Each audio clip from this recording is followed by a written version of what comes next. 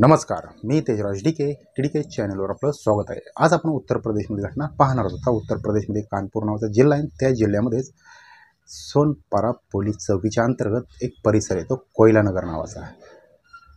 मग आता तिथं एक रस्तासुद्धा तिथून गेलेला आहे. सुवर्ण जयंती महामार्ग. मग आता तारीख आहे चार नोव्हेंबर दोन हजार तेवीस. आता ह्या दिवशी काय होतं? म्हणजे दिवशी म्हणण्यापेक्षा सकाळी पहाटेची वेळ असते साडेपाच वाजलेले असतात. आणि तिथलेच त्या परिसरातले काही लोक रोज वॉकिंगला येत असतात चालायला म्हणून येत असतात. मग आता सकाळी साडेपाच वाजलेले आहेत. अचानक एक पाठीमागून भरधाव गाडी येते. कार येते. Ertiga car. आणि ती येते आणि एका व्यक्तीला उडवून पुढं निघून जाते. पुढं गेल्यानंतर ती एका खांबाला आदळते आणि तिचं टायर फुटल्यामुळे ती तिथेच थांबते. आणि त्यातला जो ड्रायव्हर आहे तो तिथून पसार होतो. आणि त्याच्यामध्ये एका व्यक्तीचा मृत्यू होतो. अक्षरशः तो कारखाली चिरडला जातो. मग आता हे दृश्य पाहून जेवढे काही चालायला आलेले लोक असतात ते त्या कारच्या तिथे जातात बघतात तर तो अक्षरशः मृत्युमुखी पडलेला असतो. तो इसम. आणि कार चालक तर फरार आहे. मग आता तिथले जे लोक आहेत ते तिथल्या सोनपारा पोलीस चौकीला फोन करून लगेच घटनेची माहिती देतात. पोलीस लगेच ताबडतोब घटनास्थळी येतात. बघतात तर कारचा ॲक्सिडेंट झालेला आहे. कारचा टायरसुद्धा फुटलेला आहे. ड्रायव्हर पसार झालेला आहे. मग जो व्यक्ती आहे तो अक्षरशः मृत्युमुखी पडलेला आहे. मग आता पोलीस विचारतात की कोणाला ओळखतंय का? तर लोक म्हणतात हो साहेब हा इथलाच राहणार आहे. याचं नाव आहे राजेश गौतम. ठीक आहे म्हणतात पोलीस. मग आता तिथला पंचनामा वगैरे करून झाल्यानंतर पोलीस लगेच राजेश गौतमला त्याच्या मृतदेहाला दवाखान्यामध्ये शवविच्छेदन करण्यासाठी पाठवून देतात. मग आता त्याच्या घरी लगेच ही खबर सांगण्यात येते. मग आता त्याची जी बायको आहे जिचं की नाव असतं शर्मिला उर्फ पिंकी ती लगेच रडत पडत पोलीस चौकीला येते. आता पोलीस चौकीला आल्यानंतर मग त्याच्यासोबत दोन मुलं असतात घरचे बाकीचे मंडळी असतात लोक असतात. मग आता तिथले जे जमलेले लोक आहेत पोलीस आहेत ते लगेच तिला सांगतात की हे बघा हा ॲक्सिडेंटचा प्रकार आहे. ॲक्सिडेंट झाल्यामुळं तुमच्या पतीचं याच्यामध्ये निधन झालेलं आहे. आता त्यांचा पोस्टमार्टम झाल्यानंतर मृतदेह तुमच्या ताब्यात देण्यात येईल म्हणून. मग आता त्याच दरम्यान त्या राजेश गौतमचा जो भाऊ असतो तो लगेच पोलीस चौकीला येतो. पोलिसांना म्हणतो की हे बघा साहेब म्हणतो माझा जो भाऊ आहे हा त्याचा ॲक्सिडेंट नाही झालेला. मला संशय आहे. पोलीस म्हणतात तुला का संशय आहे याच्यावर? तर तो म्हणतो बघा एकतर माझा भाऊ खूप श्रीमंत आहे भरपूर प्रॉपर्टी आहे त्याच्या नावाने. आणि दुसरी गोष्ट गेल्या हप्त्यात तो मला सांगत होता की कोणतरी त्याचा पिछा करतो आहे म्हणून. सारखं त्याच्या मागावर आहे म्हणून. आणि तो थोडासा घाबरलेला सुद्धा होता. मग ते ऐकल्यानंतर पोलीस ठीक आहे म्हणतात तुम्ही काही काळजी करू करू नका. आम्ही तपासाला सुरू करतो म्हणून. तुम्ही घरी जा म्हणतात. मग आता इकडं पोस्टमार्टमचा रिपोर्टसुद्धा येतो. आता पोस्टमार्टममध्ये सरळ सरळ लिहिलेलं असतं ॲक्सिडेंटमुळंच याचा मृत्यू झालेला आहे म्हणून. मग आता त्याचा मृतदेह त्यांच्या घरच्यांच्या ताब्यात देण्यात येतो. मग सर्व ते विधी सोपस्कार उरकून घेतात. मग आता पोलिसांचा तपास इकडं सुरू करतात. मग आता पहिल्यांदा पोलीस काय करतात? तर तिथं जेवढे काही सी सी टी व्ही कॅमेरे असतात तेवढे कॅमेऱ्याचे फुटेज ताब्यात येतात. मग आता त्या फुटेजची पडताळणी करायला सुरू करतात. मग आता एका फुटेजमध्ये असं दिसतं की एक इरिटिका कार आलेली आहे. त्या इसमाला धडक दिलेली आहे. पुढे जाऊन खांब्यावर आदळलेली आहे. मग त्याच्यातून जो जो ड्रायव्हर आहे आता तिथले लोक ज्यावेळेस त्या कारच्या अवतीभोवती पळायला सुरू होतात तो ड्रायव्हर घाबरलेला असतो. आता कार तर पुढं जाणार नसते कारण टायर फुटलेला असल्यामुळे. मग तो गाडीच्या बाहेर निघतो त्याच वेळेस दुसरी इको कार तिथं येते आणि त्या कारमध्ये बसून तो ड्रायव्हर तिथून पसार होतो त्या इको कारमध्ये बसून. मग पोलिसांना हे थोडंसं खटकतं. मग आता पोलीस आणखीन कॅमेरे पाहायला सुरू करतात. आजूबाजूचे आणखीन कॅमेरे गोळा करतात C C T V footage गोळा करतात आणखीन पाहायला सुरू करतात. तर एका कॅमेऱ्यामध्ये पोलिसांना असं दिसतं की इर्टिका कार आणि इको कार हे एका ठिकाणी दोन्हीही जवळजवळ थांबलेल्या असतात. बराच तासांपासून हे थांबलेले असतात. म्हणजे नक्कीच हे लोक त्या इस्माची वाट बघत असावेत त्या राजेश गौतमचीच वाट बघत असावेत ज्यावेळेस तो आला चालण्यासाठी म्हणून लगेच यांनी त्याला धडक देऊन टाकले आणि पसार झाले. मग आता पोलीस त्या कारचे नंबर काढतात. मग ती कार असते कानपूरची. मग आता ही कार कोणाकडून घेतलेली आहे? ह्या कारचे मालक कोण आहे? सर्व काय माहिती काढतात मग त्या मालकाकडे जातात. त्याच्याकडून ह्या कार भाड्याने घेतलेल्या असतात असं पोलिसांच्या लगेच चौकशीमध्ये पुढे येतं. मग पोलीस त्याला विचारतात की कुणी कुणी ही कार भाड्याने घेतलेली मग तो सांगतो एक सुमित नावाचा तरुण होता आणि दुसरा विकास नावाचा तरुण होता. या दोघांनी हे कार माझ्याकडून घेऊन गेले होते. ठीक आहे म्हणतात पोलीस. मग आता पोलीस आणखीन पुढं त्यांच्या तपासाला सुरू करतात. त्याच दरम्यान आता पोलीस काय करतात? तर त्या राजेश गौतमचा मोबाईल नंबर घेतात त्याच्या पत्नीचा मोबाईल नंबर घेतात मग त्यांचे कॉल डिटेल्स काढायला सुरू करतात आणि इकडं त्यांचा तपास सुरू असतो. त्यांच्या मागावर पोलीस गेलेले असतात त्या विकासच्या आणि त्या सुमितच्या. मग आता ज्यावेळेस त्याच्या पत्नीचे डिटेल्स काढतात तर त्याच्यामध्ये एक नंबर असा दिसतो पोलिसांना की त्या नंबरवर त्या पिंकीनं वारंवार बोललेलं असतं. माझा तो नंबर कोणाचा आहे म्हणून ज्यावेळेस त्या नंबरचे डिटेल्स काढतात तर त्या डिटेल्स म्हणजे असं कळतं की हा जो नंबर आहे हा शैलेंद्र सोनकर नावाच्या तरुणाचा आहे. जसं की वय असतं पस्तीस. आणि त्या राजेश गौतमचं वय एक्केचाळीस असतं त्या पिंकीचं वय असतं चौतीस. मग आता त्या राजेश गौतमचे सुद्धा डिटेल्स काढतात. तर त्याच्यामध्ये सुद्धा असं असतं की त्या नंबरवरून सुद्धा त्या राजेशनी सुद्धा ह्या सोनकर बरोबर बोलणं केलेलं आहे त्या शैलेंद्रबरोबर बोलणं झालेलं आहे. मग ज्यावेळेस त्या शैलेंद्राचा सुद्धा डिटेल्स काढतात तर त्याच्यामध्ये सुद्धा पोलिसांना असं कळतं की त्या शैलेंद्रने त्या पिंकीसोबत सुद्धा बोलणं केलेलं आहे फोनवर आणि त्या राजेश गौतम बरोबर सुद्धा बोलणं झालेलं आहे. पण राजेश गौतम बरोबर कामापुरतं बोलणं झालेलं आहे थोडंफार आणि ह्या पिंकीबरोबर वरचेवर बोलणं झालेलं आहे. ॲक्सिडेंटच्या सकाळी झालेलं आहे त्याच्या आदल्या रात्री झालेलं आहे दिवसभर झालेला आहे बऱ्याच वेळा झालेला आहे. आणि त्या शैलेंद्रचं त्या विकासबरोबरसुद्धा बोलणं झालेलं असतं आणि त्या सुमितबरोबरसुद्धा बोलणं झालेलं असतं. असं त्या डिटेल्समध्ये कळतं. मग आता पोलीस त्या डिटेल्स ज्यावेळेस ज्या ज्या नंबरवर बोलणं झालेलं आहे त्या आदल्या दिवशी रात्री त्याच्या दोन दिवस आधी त्या त्या नंबरचे डिटेल्स काढतात. त्याच्यामध्ये आता पोलिसांना कळतं की एक विकास सोनकर नावाचा एक आहे आणि दुसरा आहे तो सुमित नावाचा. मग आता यांचे मोबाईल लोकेशन पोलीस ट्रेस करतात. तर ते कुठं लांब गेलेले नसतात तर ते कानपूरमध्येच असतात. मग तिथं जातात त्यांना तिथून ताब्यात घेतात चौकीला आणतात त्यांच्याकडे चौकशी करायला सुरू करतात. आणि इकडं शैलेंद्राला सुद्धा लगेच ताब्यात घेतात. मग चौकीला आणल्यानंतर त्यांच्याकडे विचारपूस करायला सुरू करतात. सांगा म्हणतात तुम्ही त्या राजेश गौतमला का मारलेला आहे? मुद्दाम ॲक्सिडेंट केलेला आहे का नाही? मुद्दाम ॲक्सिडेंट घडून आणलेला आहे ना? त्याला मारण्याच्या हेतूनेच. तर ते म्हणतात हो साहेब. तर याच्यामध्ये कोण कोण आहे? तर ते सांगतात की साहेब तो विकास सांगतो. की म्हणतो आता मी विकास आहे त्याचा चुलत भाऊ आहे त्या शैलेंद्र सोनकरचा. आणि हा जो सुमित आहे हा ड्रायव्हर आहे हा माझा मित्र आहे. आता ज्या दिवशी त्या शैलेंद्रने मला म्हटलं की आपल्याला एकाला मारून टाकायचं आहे तर तू मदत करणार का? मी तुला अडीच लाख रुपये द्यायला तयार आहे. मी म्हटलं हो ठीक आहे पण आपल्याला एक ड्रायव्हरसुद्धा लागणार आहे. त्यालाही मी तेवढेच पैसे देतो. कोण असेल तर सांग. मी म्हटलं ठीक आहे माझा मित्रच आहे सुमित नावाचा मग मी ह्याला घेऊन आलो. यालासुद्धा त्यांनी अडीच लाख रुपये दिले शैलेंद्रने. मग शैलेंद्रला विचारतात की सांग याच्यामध्ये आणखीन कोण कोण सहभागी आहे म्हणून? तुझं तर बोलणं त्या पिंकीबरोबर भरपूर झालेलं आहे. रात्री अपरात्री तासन तास बोलत होतास. मग तीच आहे का याच्यामध्ये सहभागी तर तो म्हणतो हो साहेब पिंकीनेच आम्हाला हे सर्व करायला लावलेलं आहे आणि हे पैसेसुद्धा तिनेच दिलेले होते. मग आता पोलीस विचारतात का करायला लावलेलं आहे? त्याच्यामध्ये कारणं काय? आहेत तुझं तिचं काय आहे का? तर तो म्हणतो हो माझे तिचे प्रेमसंबंध आहेत अनैतिक संबंध आहेत आमचे. मग आता हे कधीपासून चाललेलं आहे? नीट सांग सविस्तर सांग. मग तो आता सांगायला सुरू करतो. तो म्हणतो की साहेब आता तिचा जो नवरा आहे ते गौतम राजेश गौतम ते पेशाने शिक्षक आहेत सरकारी शिक्षक आहेत आणि शिक्षकी काम करता करताच ते इस्टेट एजंटचं कामसुद्धा करत असतात जमिनींचे व्यवहार करत असतात.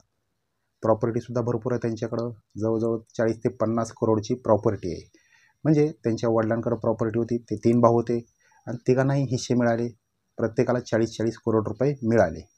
मग त्यांनी शिक्षकी पेशा करत करतच त्यांनी जमीन खरेदी विक्रीचा व्यवसाय सुरू केला. आणि जिथं काही घर बांधायचं असेल जिथं कंपाऊंड वॉल बांधायची असेल तिथं ते मला सांगत असायची की आपण ही जमीन घेतलेली आहे एक दोन गुंठे एखादा एकर तिथं तू कंपाऊंड वॉल बांधायला सुरू कर. मग त्यावेळेस मी ती कंपाऊंड वॉल बांधत असायचो. तर ही सर्व आमचं बरीच जुनी ओळख होती आमची पण दोन हजार एकवीसपासून ही जास्त सुरू झालं. मग आता अशातच मग आता त्यांच्या जी घरचं काम असायचं छोटं मोठं राहत्या घरचं. तिथंसुद्धा मी जायचो. कधी बाथरूमचं काम आहे कधी किचनमध्येच काम आहे. कुठलीच वॉल बांधायची कुठं काय प्लॅस्टरचं करायचं हे काम सर्व मी करत असायचो. मग आता काम केल्यानंतर ज्यावेळेस मी त्यांना पैसे मागायचो कामाचे त्यावेळेस ते मला पैसे लवकर देत नसायचे. मग मी त्यांच्या घरचं काम असलं त्यांच्या घरी जायचो. मग त्यांची जी पत्नी आहे ज्यावेळेस पहिल्यांदा मी त्याला पाहिलं त्यावेळेस मला ती एवढी आवडली की ती माझ्या मनातच बसली. मग आता मी तिला सर्व घराने सांगायचं की बघा साहेबांचं मी एवढं काम केलं आहे पण ते मला पैसे द्यायला तयार नाहीत. तर तुम्ही सांगा साहेबांना तर ते माझी ठीक आहे तू काही काळजी करू नकोस तू काम कर कामाकडे लक्ष दे. मग त्या त्यांच्याकडून पैसे घेऊन मला द्यायच्या आणि स्वतःकडचे सुद्धा काही पैसे त्या मला द्यायच्या.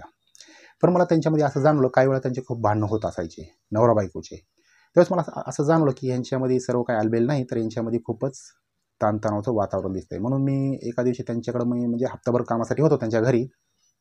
त्यावेळेस माझं लक्ष सर्व त्यांच्याकडंच असायचं. मग मी न राहून पिणी त्यांना विचारलं की मॅडम म्हटलं तुमचं साहेबांबरोबर काय भांडण आहे का? तुमचं काही पटत नाही का? तर त्या म्हटल्या हो आमचं अजिबात पटत नाही. मी त्यांच्याबरोबर घटस्फोट घ्यायच्या प्रयत्नात आहेत पण घरचे मला काही घटस्फोट घेऊ देत नाहीत. कारण ते मला सारखं मारतात झोडतात संशय घेतात काही म्हणत असतात. मी त्यांच्याबरोबर अजिबात खुश नाहीत. बघा त्यांना दोन मुलं आहेत.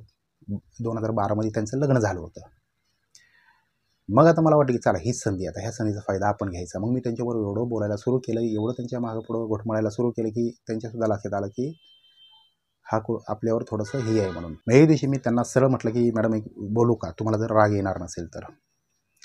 त्या म्हटल्या बोल. मी सरळ त्यांना म्हटलं की तुम्ही मला खूप आवडत आहे त्याही खुश झाल्या हसल्या. मग त्यावेळेसपासून आमच्यामध्ये प्रेमसंबंध निर्माण झाले. मग आता पूर्ण दोन हजार एकवीसचं वर्ष चांगलं मजेत गेलं आमचं. मग तिथंच आमचे अनेक संबंध चालत असेल त्यांच्याच घरामध्ये. हे कुणालाही माहीत नव्हतं. मग जसंच दोन हजार बावीसचं वर्ष आलं त्या वर्षामध्ये पण आमचे पूर्ण खेळ चालत असे त्यांच्याकडून मी भरपूर पैसे घेत असा जो खर्च आला त्याही मला देत असायचे आम्ही फिरायला जायचो इकडं तिकडं भरपूर चालत होतो. मग दोन हजार तेवीसच्या वर्षामध्ये आता हे काही लपून राहणार नसतं. त्याप्रमाणे आमचंसुद्धा उघडं पडलं. त्यांचा जो नवरा आहे राजेश गौतम ह्यांनी आम्हाला एक दिवशी रंगेहात पकडलं. मग आता पकडल्यानंतर त्यांनी मलाही काय बोलले नाहीत ना? बायकोलाही काय बोलले नाहीत? त्यांनी मला म्हटलं की हे बाबा आत्तापर्यंत तुझे माझे संबंध होते हेतून पुढं आता तू माझ्या घरी कामाला यायचं नाहीस ना? माझ्याकडेच कामाला यायचं नाहीस. तुझं तू बघ तुझं काय असेल ते हिशोब घे आणि निघून जा आणि परत तोंड दाखवू नकोस. आणि पत्नीला सुद्धा म्हटलं की झाली तुझी पहिली चूक आहे ना मी माफ करतो इथून पुढं अशी चुका करू नकोस. पण आता मला राहवत नव्हतं. त्या पिंकीशिवाय तिलाही माझ्याशिवाय करमत नव्हतं. मग आम्ही भेटायचा निर्णय घेतला. आम्ही भेटलो. ती मला म्हटली की बघ तो माणूस तर मला काय व्यवस्थित घरात ठेवत नाही किंवा खूप त्रास देतो आहे तर मला तूच पाहिजेस. मी म्हटलं की हे बघ आता आपल्याला काय भेटणं शक्य नाही कारण तुझ्या नवऱ्याला माहिती पडलेलं काही होऊ शकतं. तर आपण भेटायचं बंद करूया. ती म्हटली नाही मला तूच पाहिजेस. तुझी तयारी आहे का सांग. मी म्हटलं कसली? तर म्हटलं की माझ्या नवऱ्याला तू मारून टाक सरळ सरळ. काय असेल ते मी खर्च करायला तयार आहे. त्यावेळेस मी तिला बरंच म्हणजे पुढं ढकलत ढकलत तिला आत्तापर्यंत ढकलत आणलं नोव्हेंबर महिन्यापर्यंत. ती माझ्या मागं जवळजवळ मार्च एप्रिलपासूनच लागली होती की ह्याला मारून टाकायचं म्हणून. पण मी घाबरत होतो की ह्याला मारलं तर आपण म्हणजे आपलं पोलीस पकडतील काही होऊ शकतं. पण तिने माझ्या मनाची तयारी करून घेतली.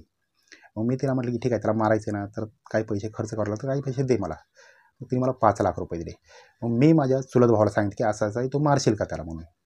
तोही तयार झाला. मग मी म्हटलं की आपल्याला ड्रायव्हरची गरज आहे. लगेच त्यांनी त्याच्या मित्राला तयार केलं त्या सुमितला. मग मी दोघांनाही अडीच अडीच लाख रुपये दिले. आणि त्यांना दोघांनाही म्हटलं की ज्यावेळेस आता हवेली माझ्या ताब्यात येईल ज्यावेळेस सर्व माझ्याकडे पैसा पाणी भरपूर येईल त्यावेळेस मी तुम्हाला माझ्याकडे चांगल्या कामाला ठेवून घेईल चांगल्या पगारीवर. बघा आता तिच्या नवऱ्याच्या नावाने तीन करोडची एल आय सी पॉलिसीसुद्धा होती. आणि तो ॲक्सिडेंटमध्ये मेल्यानंतर किंवा आकस्मिक त्याचा मृत्यू झाल्यानंतर ती सर्व रक्कम त्याच्या बायकोलाच मिळणार होती ती त्याची वारस होती. आणि राहिली बाकीची प्रॉपर्टी म्हणजे चाळीस ते पंचेचाळीस करोडची बंगला जागा जुमला सर्व काय प्रॉपर्टी ती सर्व बायकोच्या नावाने झाल्यानंतर तिने मला म्हटली की बघ माझा नवरा मेल्यानंतर ती रक्कम तीन करोडची मलाच मिळणार आहे बाकीची प्रॉपर्टी मलाच मिळणार आहे तर आपण लग्न करूया नंतर तूच याचा मालक होशील. नंतर आपण लग्न केल्यानंतर मग माझ्या मुलांनाही तुझंच नाव दे आपण एकत्र सर्वजण मिळून मिसळून राहूया. म्हणून मीही तयार झालो मी खूप खुश झालो. मी स्वप्नाच्या दुनियात वावरायला लागलो की चला तो मेल्यानंतर कोट्यवधीची प्रॉपर्टी आपल्याला मिळणार. सोबत पोकडची बायको मिळणार मुलं मिळणार. मस्तपैकी मजेत राहायचं ऐश करायची. असं मी स्वप्न पाहत होतो आणि त्या ह्याच्यातच मी भरकटलो. आणि त्याला मारायचा प्लॅन केला आणि त्या चार नोव्हेंबरच्या पहाटे आम्हाला माहीत होतं तो रोज चालायला जात असतो. आणि तो ज्यावेळेस घरातून निघाला आम्ही रात्रभर तिथं दबा धरून बसलो होतो. इको गाडीमध्ये आणि त्या इरिटिका गाडीमध्ये. ज्यावेळेस तो घराच्या बाहेर निघाला आता रोज त्याचा मुलगा सोबत असतो पण त्या दिवशी त्याच्या बायकोने म्हणजे त्या पिंकीने. मुलगा निघाला होता त्याच्यासोबत पण त्याला घरामध्ये कोंडून ठेवलं. बाथरूममध्ये त्याला घातलं आणि त्याला बाहेरून दरवाजा लावला आणि म्हटली की आणि नवऱ्याला म्हणजे त्याला खूप अभ्यास करायचा तुमचे तुम्ही एकटे जा आज. उद्या त्याला घेऊन जा. त्यांनाही काय माहीत त्यांनाही वाटलं की चला ठीक आहे अभ्यास करायचा असेल तर ते एकटे निघाले. जसेच एकटे आले रस्त्याला आले तसंच इर्टिका गाडी चालू केली ड्रायव्हरने सरळ त्यांच्या अंगावर घातली. चिरडलं. गाडीखाली अक्षरशः त्यांना चिरडलं पुढ पुढं जाऊन एका खांबावर जाऊन गाडी आदळली आणि तिथंच त्या गाडीचा टायर पुढचा फाटला. म्हणजे फुटला टायर. मग तिथंच गाडी सोडावी लागली. मग इको गाडी आम्ही पुढे घेऊन गेलो. त्या गाडीत त्याला बसवलं तिथून आम्ही सर्वजण पासार झालो. आता सर्व त्याने ही स्टोरी सांगितल्यानंतर पोलीस लगेच त्या पिंकीला पण ताब्यात घेतात. पण त्या पिंकीने काय केलेलं असतं? तर पोलीस आता आपल्याला ताब्यात घेणार आहेत म्हणून तिने एक विषसुद्धा पेलेलं असतं. पण तिला लगेच दवाखान्यात नेऊन तिच्यावर उपचार केल्यामुळं ती लगेच बचावते सुद्धा आणि बचावल्यानंतर ट्रीटमेंट पूर्ण झाल्यानंतर पोलीस मग नंतर तिला ताब्यात घेतात. मग तिच्याकडे सर्व विचारपूस करायचं जेवढं ह्यांनी माहिती सांगितलेली असते तेवढी माहिती ती सुद्धा सांगते. मग यांच्यावर तीनशे दोन कलमांतर्गत गुन्हा दाखल होतो आणि पोलीस यांची रवानगी जेलमध्ये करून टाकतात. पण बघा याच्यामध्ये आता काय झालेलं आहे तर ही जी पिंकी आहे ठीक आहे नवरा मारत होता त्रास देत होता तरी कसं तरी त्याला समजावून उमजावून चार दिवस आपल्या माहेर राहायचं चार दिवस याच्याकडे राहायचं कसं तरी आपले दिवस काढायचे होते तिने. किंवा जास्तच प्रमाणाच्या बाहेर जर होत असेल तर त्याच्या भावांना सांगायचं त्यांच्या कानावर घालायचं किंवा सरळ घटस्फोट घ्यायचा होता तिच्या घरच्यांना सांगायचं दाखवायचं सगळं बघा असा असा करतोय काय पैसा त्याच्याकडून मागायचा प्रॉपर्टीमध्ये हिस्सा मागायचा त्यावेळेस तरी तो गप बसला असता. नाहीतर व्यवस्थित सहन करत राहायचं होतं. पण त्याला मारून आता तिला पण जेलमध्ये जाऊन बसणार बसावं लागणार आहे किंवा बसलेली आहे. ह्या प्रॉपर्टीचा उपभोग कोण घेणार? आता उपभोग घ्यायला कोणीही नाही. तर दोन मुलं आहेत फक्त. तेही लहान लहान आहेत. आता त्यांचं संगोपन एकतर तिच्या आईवडिलांनाच करावं लागणार आहे. चुलते तर करणार नाहीत त्या. म्हणजे त्या राजेश गौतमचे भाऊ तर करणार नाहीत. केलं तर करतील. पुढचं काही सांगता येणार नाही. तर चुका यांनी केल्या पण भोगावं लागणार आहे मुलांना. प्रॉपर्टीचा तर काय नाही. प्रॉपर्टी तर भरपूर आहे. म्हणून काही करताना विचार केला पाहिजे. नवरा चांगला असताना सुद्धा ती एका पस्तीस वर्षाच्या तरुणाच्या नादाला लागली. तेही ग एका गवंड्याच्या मिस्त्रीच्या बांधकाम प्लास्टर बांधकाम करणाऱ्याच्या. तर मित्रांनो ही होती आजची स्टोरी आपल्याला कशी वाटली कशी नाही ती मला कमेंट बॉक्समध्ये कमेंट करून सांगा. माझ्या चॅनलला सबस्क्राईब करायला विसरू नका. सोबत बेल आयकन प्रेस करायला सुद्धा विसरू नका. तर आपण परत उद्या आणखीन एखाद्या नवीन स्टोरीमध्ये भेटूया. तोपर्यंत आपण खुश राहा आनंदी राहा आपल्या परिवाराची काळजी घ्या. तोपर्यंत धन्यवाद.